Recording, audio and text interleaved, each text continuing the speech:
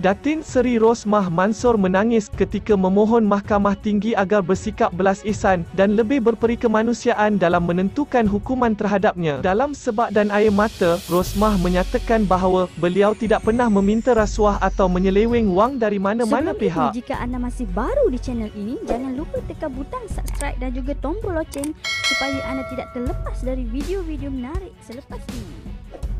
Tolong jadi lebih belas ihsan, jadi lebih berperi kemanusiaan. Jika ini boleh berlaku kepada saya, ia boleh berlaku kepada sesiapa sahaja, kepada isteri anda, anak anda atau sesiapa sahaja pada masa hadapan. Mereka telah lakukannya kepada suami saya agar kami menanggung sengsara. Kami sedang menanggung sengsara, anak-anak saya sengsara. Tolong lihat saya sebagai seorang wanita kini yang terpaksa memikul tugas seorang bapa. Tolong jadi lebih berperi kemanusiaan, ujarnya dalam nada sebab. Terdahulu, Mahkamah Tinggi mendapati Rosmah 70 bersalah atas pertuduhan meminta rasuah 187.5 juta ringgit dan menerima 6.5 juta ringgit melalui bekas pegawai khasnya Datuk Rizal Mansor berhubung projek pembekalan dan pemasangan tenaga solar di sekolah luar bandar di Sarawak.